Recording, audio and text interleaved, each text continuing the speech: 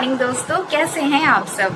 I hope कि आप अपने घरों पे आराम से मेरे इस वीडियो को एंजॉय कर रहे होंगे।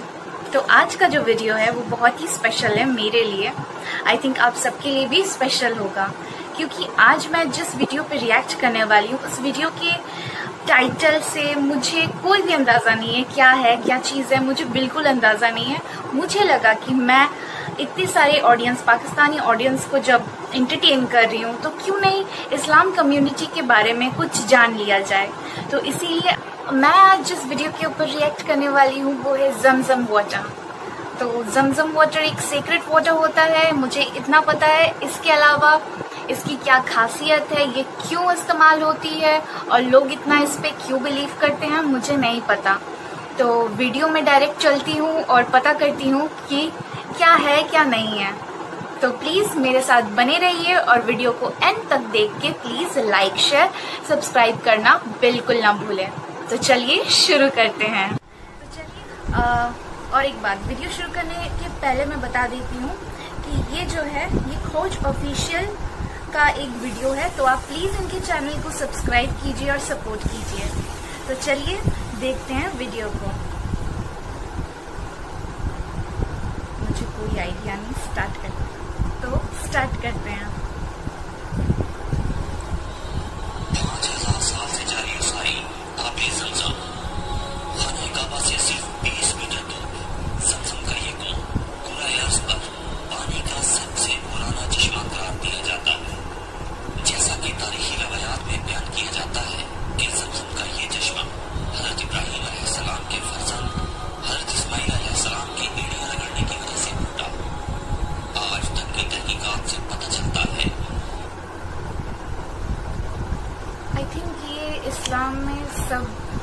इस्लामी कम्युनिटी में होली वाटर की तरह है।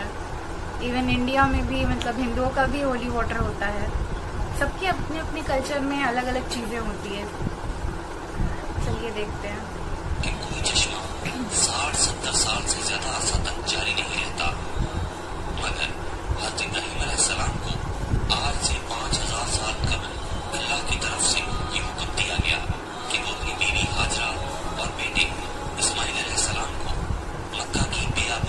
Dime.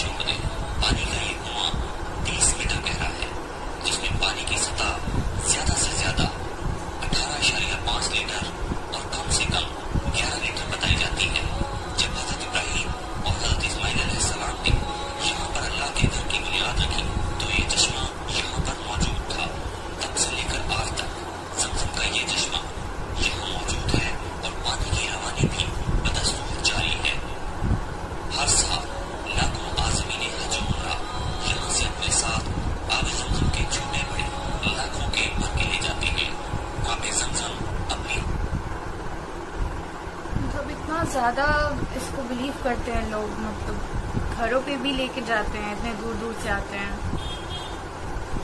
अभी तो आई गेस बहुत आसानी हो गया पहले जब लोग जाते होंगे काबा में तो इतने सुविधाएँ नहीं होती होंगी। मतलब सुविधा मतलब इतना इजी अवेलेबल वाटर नहीं हुआ होगा। अभी तो पाइपलाइन की व्यवस्था भी कर दी है।